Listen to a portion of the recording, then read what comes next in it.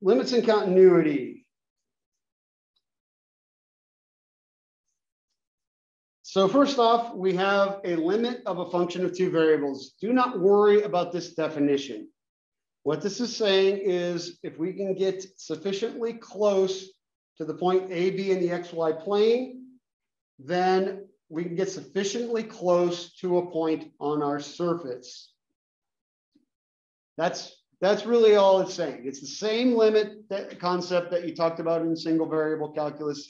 It's just now our input is in the XY plane and our output is on the surface, which is floating above or uh, below the XY plane, depending on our surface.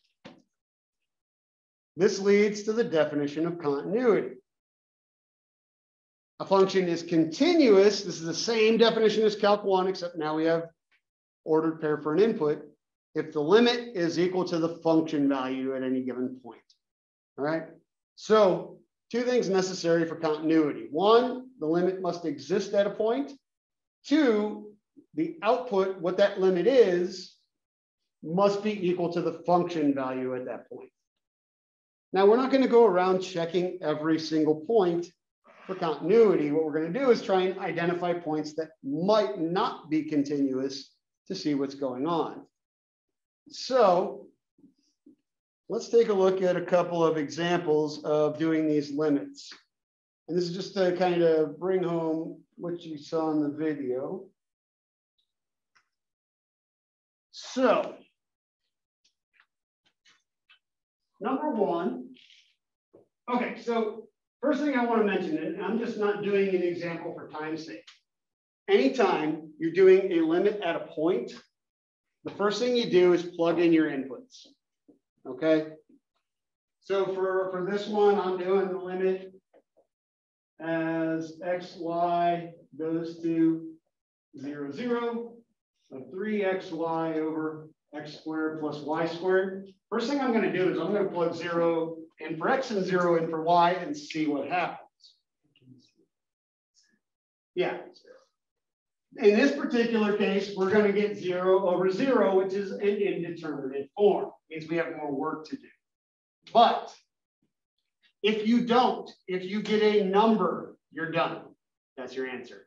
If you get 0 over a number, you're done. Your answer is 0. If you get a number over 0, you're done. Your answer is undefined. Okay? So first step on any limit at a point is to plug it in, see what happens. It's only the zero over zero case or the indeterminate forms where we have to do more work. Yep. So what we're going to do is we're going to we're going to do two things. We're going to both look at this. We're going to look at this graphically, and then we're going to look at it algebraically. So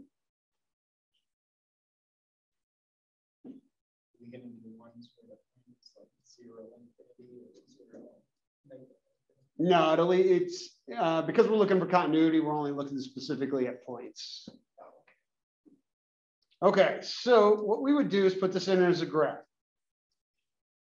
because we want to see what's going on. 3xy divided by x squared plus y squared. There it is right there. Just got to get rid of the negative. Okay. Now, remember, we are specifically looking for what is going on at zero, zero. Look at what's going on at the origin of our graph, right? There's this big dip right here. And if I turn it around this way, you see it as well. There's not a nice smooth uh, path going on at zero, zero. So right off the bat, we're already thinking, okay, there's a good chance this limit is not going to exist because regardless of path, it should end up at the same place. So what we'll do is we'll check a couple paths.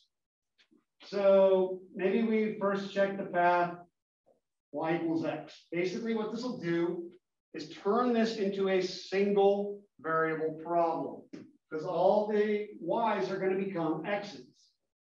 So what will that look like? Well, limit as x goes to zero, three times x times x, so three x squared on top over x squared plus x squared on bottom. right? So basically we're just changing the, the uh, y's for an x. So we get 3x squared over 2x squared. Those cancel, and this comes out to be 3 halves. Okay? Well, that's all well and good. We need to make sure that if we choose another path, we get to this, we get the same result. If we choose any other path um, and don't get the same result, then we're already done. Now, there's no, uh, in the video, they give you some basic ones to choose, y equals zero, x equals zero, y equals x, y equals negative x, y equals x squared, y equals negative x squared. Those are some of our standard ones. Um, since I chose y equals x for the first one, I'm going to choose, choose, excuse me, y equals negative x for the second. Now this is still limit as basically x goes to zero. And most of it's going to come out the same. Here's where the difference is going to come. When I put a, x, a negative x in for this y, that's going to give me a minus 3x squared here. But a negative x here, because it's being squared, becomes still a positive x squared. So minus, I guess I haven't really taken the limit yet. That should have been in there. Limit as x goes to zero till we take it. Um, minus 3x squared over 2x squared. Those cancel. But this time we get minus 3 halves. We're done. This tells us this limit does not exist. We need to be able to get to the same value regardless of what path we, we choose. Okay, so that's what the that's what the video was trying to show is you choose a couple paths and they don't come out the same, you're already done. Now, what I'm wanting to add into it is taking a look at the graph to already have an idea of what you want to choose. Questions about that one?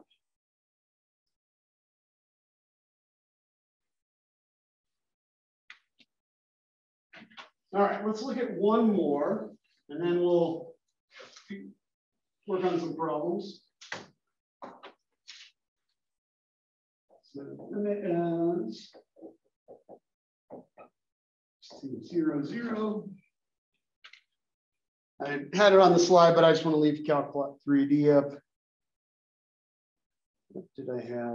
Where'd it go? X squared Y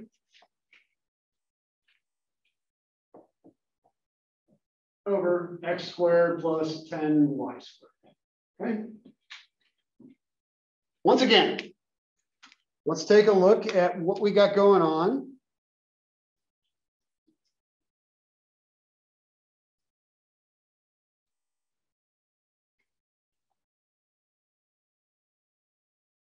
And what we're looking for, remember, we're looking at zero, zero. Notice on this graph at zero, zero, it's a lot smoother, right? That's the kind of behavior we expect to see when the limit is going to exist. All right. Now, this function value does not exist at zero, zero because it, it makes a zero in the denominator. So this thing is not going to be continuous at zero, zero, but that doesn't mean the limit won't exist. So what we're going to do is we're going to start checking some paths. So maybe we check a basic one first. How about y equals zero? So limit as, like I said, it makes it a calc one from x goes to zero. If we zero out the y's, we basically end up with zero on top over x squared, which is zero. Okay. What about x equals zero? Well, now we're doing it for y, so limit as y goes to zero, making x zero, still zeros out the numerator. Just need to make sure it doesn't zero. So over 10 y squared, it's going to be zero. Let's check out the path y equals x. y equals x and y equals negative x caused, caused the issue on the last one, right? So if it's y equals x, we got the limit as x goes to zero, putting in x there, that's going to be an x cubed over x squared plus 10x squared. So we have the limit as x goes to zero of x cubed over 11x squared. Well, we can cancel two an x squared out of top and bottom. Now we can do it via direct substitution. Plugging in zero gives us zero. So we're starting to notice a pattern, right? Now we're not going to cover every possible path. That's why we look at the graph. Let's just do one more. And only because this is the one that caused us problems before. Now you don't need to do 15 different paths every time you do one of these. That's why we're leveraging the, uh, the graph. Yeah. So now when I plug in a negative x for y, I'm going to get negative x cubed over x squared plus 10x squared. So limit as x goes to zero, of negative x cubed over 11x squared, basically the same cancel. And the negative doesn't affect the fact that this thing is still going to be zero. So in all four cases, we're getting that that limit is zero. And we can also confirm that graphically. We look, if we look from the side, see how it's pretty much meeting at the origin there. So checking a handful, two or three paths to make sure you get the same thing that goes along with what you're seeing graphically is enough to show these things, um, the limits exist.